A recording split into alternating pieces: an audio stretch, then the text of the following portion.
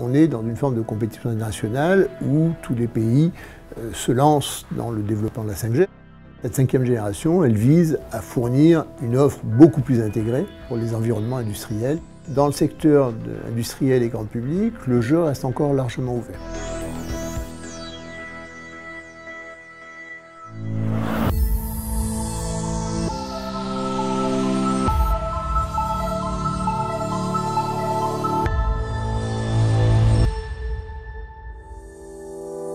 Bonjour, je m'appelle Pierre-Jean Mengosi. Je suis directeur de recherche au CNRS et professeur en économie et gestion à l'école polytechnique.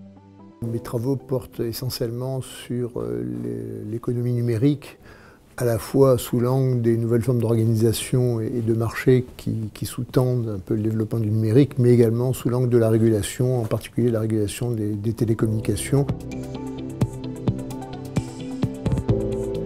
Cette cinquième génération, elle vise à fournir une offre beaucoup plus intégrée, non plus simplement pour le grand public, mais surtout pour les, pour les, pour les environnements industriels et pour les organisations et les entreprises et les services publics qui vont pouvoir intégrer et penser de façon beaucoup plus globale euh, leur transformation et leur numérisation.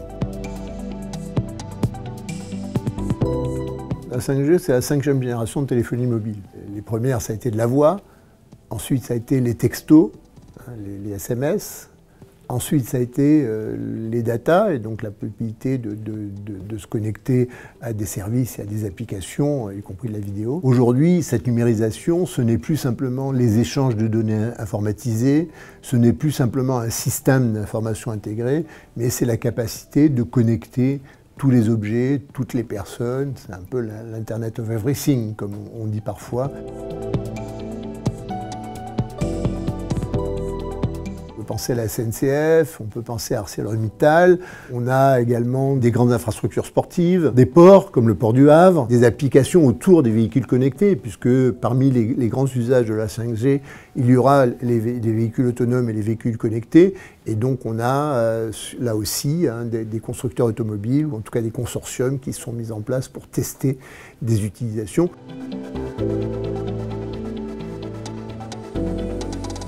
La 5G, c'est un, écosystème technique. C'est des antennes qui sont actives. au lieu d'avoir une antenne qui arrose euh, tout, le, paysage autour, hein, ces antennes qui vont pouvoir se focaliser plus spécifiquement sur les, personnes, les mobiles ou, les objets qui en ont besoin. Et puis on a de nouvelles gammes de fréquences également, qui sont ce qu'on appelle les ondes millimétriques, 26 hein, ou 28 GHz dans d'autres pays, qui sont des gammes de très très haute fréquence et qui permettent d'avoir à la fois des débits considérablement plus importants que ceux des fréquences traditionnelles, et aussi une latence plus réduite, c'est-à-dire une capacité de réactivité beaucoup plus forte. Donc ça veut dire que, par exemple, dans un port où on va avoir des, conteneurs et des, centaines de milliers de conteneurs sur, chaque bateau, en termes de maintenance, grâce à soit, soit des drones, pouvoir surveiller éventuellement l'état de certaines installations sans avoir à envoyer un mécanicien pour effectuer l'intervention.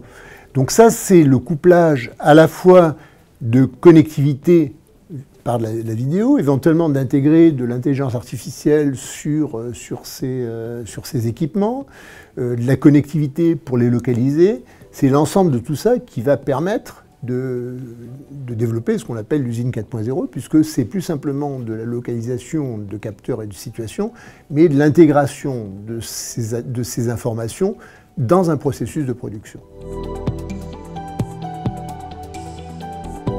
ces usages industriels pour le grand public, on en a dans beaucoup de pays et qui ont été portés en particulier par les Jeux olympiques ou les grands événements sportifs. Pourquoi? Parce que dans un stade, quand vous avez des dizaines de milliers de personnes, bah, souvent les personnes veulent avoir euh, le commentaire à la radio ou éventuellement de pouvoir regarder le ralenti. Et donc on a des besoins extrêmement forts de, connectivité dans, dans, ces applications. Et les grandes enceintes sportives sont des lieux d'expérimentation importants pour euh, le développement de la 5G. Ça a été le cas au Japon, ça sera le cas en France pour, euh, les Jeux Olympiques de, 2024. On identifie bien déjà des, cas d'usage importants, des, vagues d'application importantes, sans forcément qu'à ce stade, elles, se traduisent par un basculement aussi fort que ce qu'on aurait pu attendre vers ces usages industriels.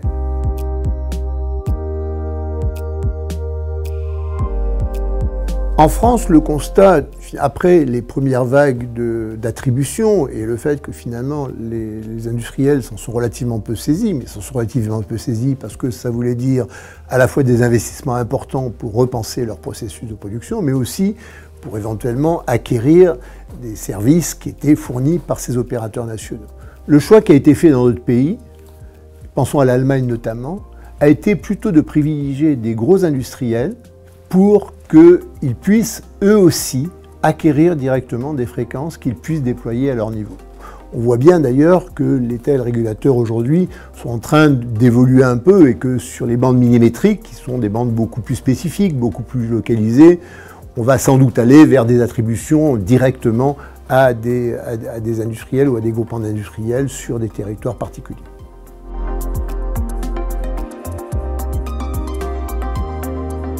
Dans une forme de compétition internationale où tous les, tous les pays euh, se lancent dans le développement de la 5G. On a bien vu ces dernières années des grandes plateformes mondiales émerger et contrôler l'ensemble des, applications.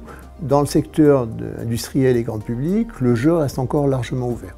Et donc la possibilité de pousser les champions nationaux ou européens sur ces applications euh, industrielles est aussi une opportunité extrêmement importante. L'enjeu n'est pas simplement euh, aider les industriels pour aider les industriels, il est aussi aider les industriels pour permettre de développer des innovations, pour permettre de prendre une position dans, le secteur de, de l'économie numérique qui ne soit pas simplement contrôlée par quelques grandes plateformes qui sont celles qui sont aujourd'hui dans le grand public. Et c'est aussi un objectif de fournir à l'ensemble des entreprises des leviers à la fois de performance, d'efficacité, qui leur permet de fournir aux consommateurs davantage de services et des services plus en phase avec ce dont ils ont besoin.